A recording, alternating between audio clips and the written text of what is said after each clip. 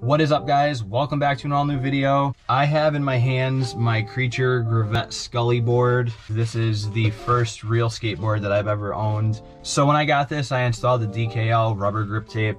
It's supposed to save your shoes and uh, not wear your shoes down as fast. It's supposed to be as grippy as traditional grip tape. So I tried it out. I've used this pretty heavily over the past month, month and a half or so. I just want to show how this stuff wears. I have to say that this stuff is actually pretty awesome. You could see that it really hasn't worn down too much. A lot of people were complaining about it peeling up on the sides. I didn't have any issues with that. And if you get any kind of peeling, you just take a razor and just shim it right down and you're fine.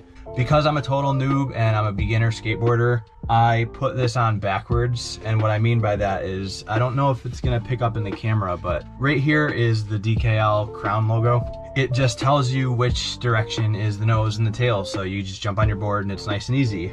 But me being a total noob, I put it on backwards. So this is actually the nose, this is the tail. I didn't know that. I thought the wider end of the board was the tail. It's not. So yeah, this stuff is great if you want to try it out. Super grippy. The only issue where my front foot rests, again, I don't know if you're gonna be able to pick that up in the light, but the texture wore down to flat.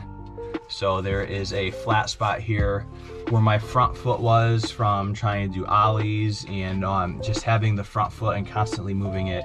It did wear down, doesn't affect the grippiness, which is actually true because I continued to skate it that way.